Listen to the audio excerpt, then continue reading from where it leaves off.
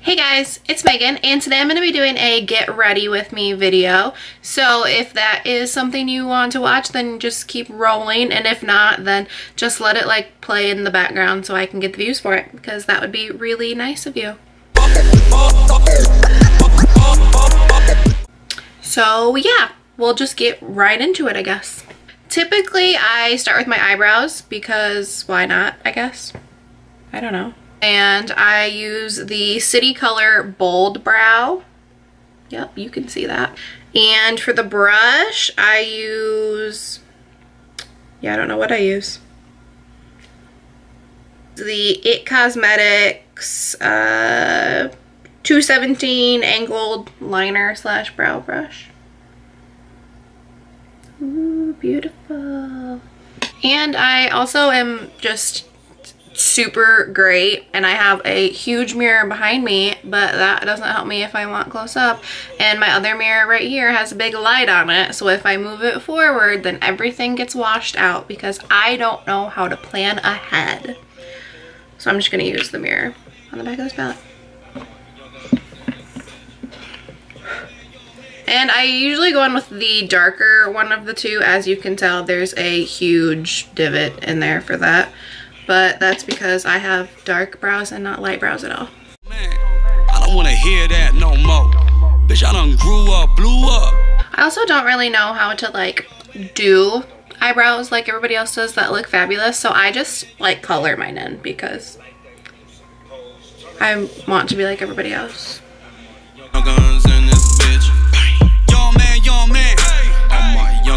Do they look even? Maybe. Possibly. Here's the thing. I love makeup. I don't know how to apply it.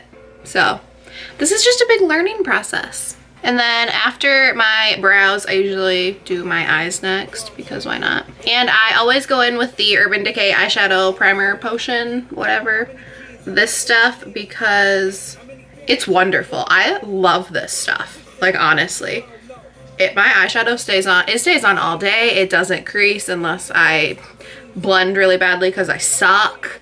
But other than that, like this stuff, bomb. And then I usually just blend it with my fingers because that's just, I'm trash. That's just who I am as a person. And here comes the hard part. Trying to figure out, first of all, which palette to use. Second of all, which colors to use. And third of all, try not to look like a and I just recently got the Norvina palette, the Anastasia Beverly Hills, which it's gorgeous. It's wonderful. And I got the Morphe Fall into Frost palette. But wait, that's not all that I have spent all of my money on recently. So I also have recently purchased the Lorac Unzipped Desert Sunshine and the Aspen Ovard Tarte palette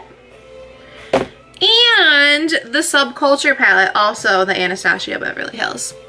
So I've got a lot of choices plus um, all of these because I don't have any self-control. I don't know what that is. All right, I think we're gonna go with the Morphe Fall into Frost palette because just, just look at it. Would you just, would you just look at it? It's beautiful. For my base color, I always just go in with this. Listen, I got it from Ipsy. I'm not really sure to say it. I think it's like Luxie. Lux? I'm not sure. 205, the tapered blending brush. It's dirty. Sorry. My bad. And I'm going to go in with this one right here. They don't have names, or they do and I don't know them because I'm trash.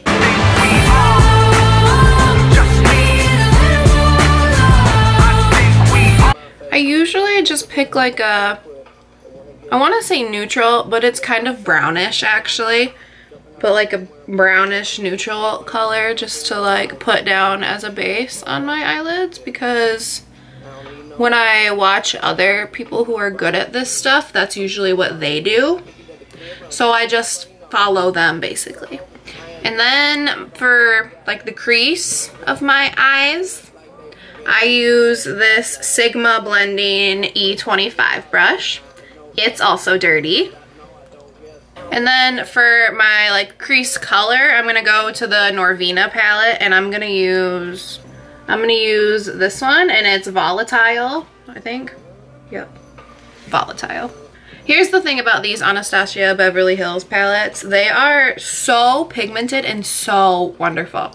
I don't even need to put a lot on my brush because it goes a long way. Like it's wonderful, honestly. And I just put that in the crease here. You kind of look like a dip when you're doing it, or maybe that's just me, honestly. So there you have that, and it looks like this. It looks like there's just dirt all over your face, or all over your eyes, really. But it's fine, because it's not going to look like that for much longer, hopefully. And then for my lid color, I go back in with this Luxie brush. And this one is the 207 medium angled shading brush. Again, I got it from Ipsy. Again, dirty. And we're gonna go in with this color right here. It's kind of like a rose goldy, pinky, glittery, everything. And I just kind of dab it on there because I, well I watched that in a video too and I feel like you're not supposed to like brush it on. It gets rid of like everything else you've done. I don't really know. I might have just made that up honestly. I'm not a beauty guru. Wish I was. But I'm not. I'm not good at it. And then by the time you're done with that, hopefully it doesn't look like it, honestly. Um, no promises for mine yet? Not sure. We'll see. That's about it for eyeshadow. I don't really go into any more detail because um, I don't know how. So you don't get to witness that today. Next time, maybe. And then next I do my eyeliner and for that I just use the NYX Matte Liquid Liner. It's honestly my favorite. I never really liked liquid eyeliner. It senses fear. I'm fearful. But this rocks. I love this. I honestly love this. So I'm going to do that, but um, I suck. So I'm going to do it off camera and come back. Okay, so I did my eyeliner. I keep getting so close to this camera and I'm so sorry because I'm so gross, but whatever. So I did my eyeliner. Um, yeah, it doesn't look great, but it um, also is there. So it doesn't look horrible, I suppose. And then I do mascara. And I actually use like 16 different mascaras on a daily basis because I just do. It's just who I am as a person. But I always start with this Marc Jacobs uh, mascara. It's just Marc Jacobs black, I think. Yeah, black Marc Jacobs mascara. Ta-da! You can't see on camera, but it's done now. And then um, to prime my face, I usually just use this Ulta Fabulous Face primer stuff. But I was running out, so I cut the top off because broke girl hacks.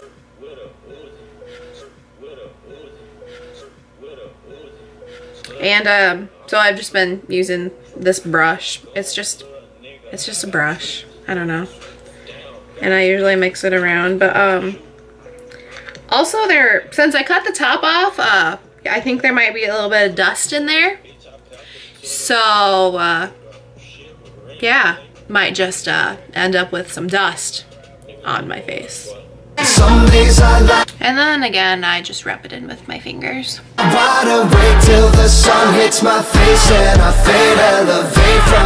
Should I rub all this stuff in with my fingers? Probably not at all. But you know what? I could be like doing my eyeshadow with my fingers and I'm not. So I'm already a step ahead there. My life is like kind of together, right? The next step in Megan's 10 out of 10 trash can makeup review get ready with me would be to get your beauty blender wet or damp. Damp. Wow, I'm back, I'm ready. So after you do your beauty blender, then I go in with my concealer and I just use the NARS Creamy Concealer. I think it's in the shade Radiant. Nope. I lied. Light to vanilla. Cause your girl pale. And I kind of just go over my spots. Like there's a spot. There's a spot. I don't know what that was. So then you look like this. It's super cute. And then uh, you take your beauty blender and you just kind of like pat it. Don't, don't rub it. I learned that one. Don't rub it because it like smears your makeup. Okay, so my camera um, shut off right after I was um, done in the middle of doing my concealer, but it's fine. I didn't get any farther because I suck. So next I'm going to do my foundation and I use the MAC Studio Fix Fluid SPF 15 foundation and I am the color NC15 and I put it on like remember when silicone beauty blenders were like the thing that everybody wanted to use well, I got one and it, it's trash. I hate it. There's no point to it. It's just stupid. So I put my foundation on and then I mix it with this Tarte uh, Moroccan oil and I use a little brush and I mix it and then I put it on my face. So you do have a use, silicone little implant. Good job. I just use this dirty brush that's already filled with foundation and I mix it. And then it kind of saves your hand because I used to mix it on my hand a lot and then I always just ended up with a weird foundation patch like on my hand and now I don't. And start foundationing your face. I in with a haven't you people ever heard of closing a goddamn door, no. Real question, when you're listening to I Write Sins Not Tragedies, do you say closing the door or closing a door? I want you to comment that down in the comments. Where else would you comment that? I want you to put that down in the comments because it's very important that I know these things. We always have a debate with it when it comes on in the car and there are new people because, well, comment first and then you can keep going with this video if you've made it this far, I guess. Because it's um, the door, I don't care what anybody else has to say, and if you say adore, I don't know if we can be friends. So basically that's just the point of my story. Make sure you blend down your neck too because honestly I know quite a few people who don't. And um, just do it. It's not hard. Just do it. It looks like kind of patchy on my camera with this light shining but I promise it's not because um, I wouldn't post this video if it did. So after I do my foundation, then I go in with the um, MAC Studio Fix like pressed powder. And it's also in the NC15 because match. So then I just go in with this brush um, and put the powder over it to set it because I learned somewhere that's what you do. Then I go in with this Maybelline Instant Age Rewind um, Dark Circle eraser and I kind of just use it to highlight a little bit or something like that. Is this probably redundant to what I just did? Probably. Do I care though?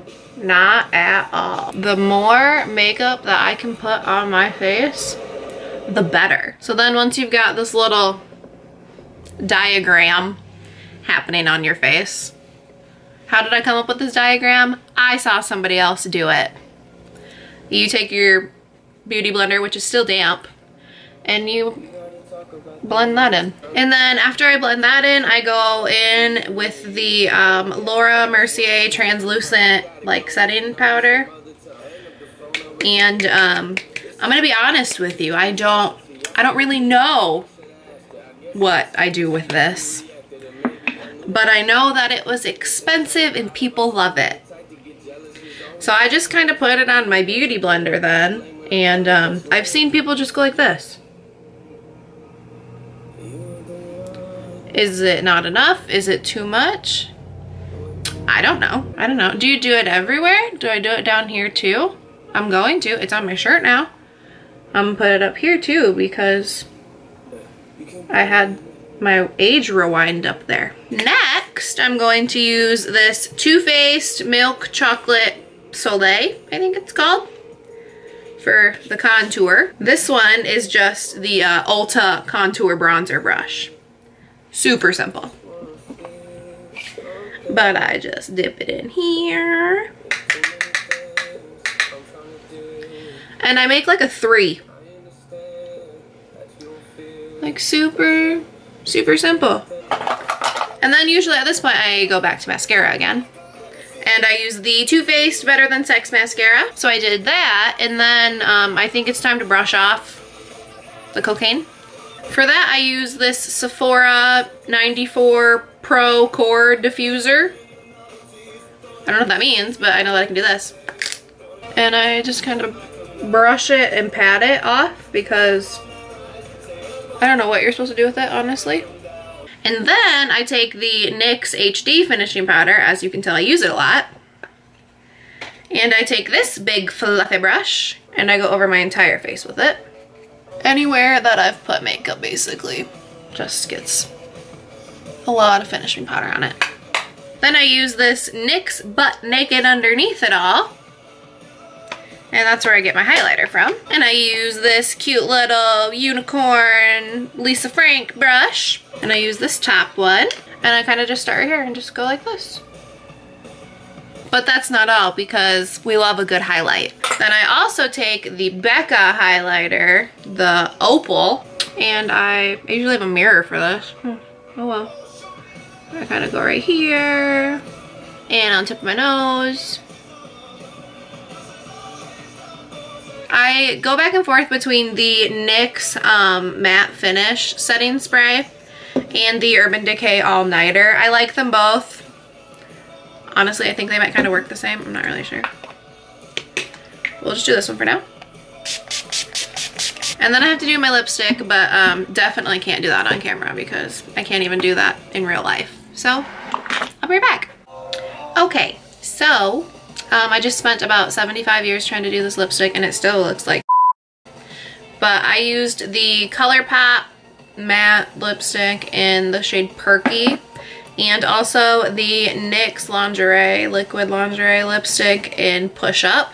And um, that's about it. That's how you go from a negative one to a strong one. If you like this video, you can give it a big thumbs up and you can subscribe to my channel for more things. I'm going to film another video today, so I'm going to look like this in it.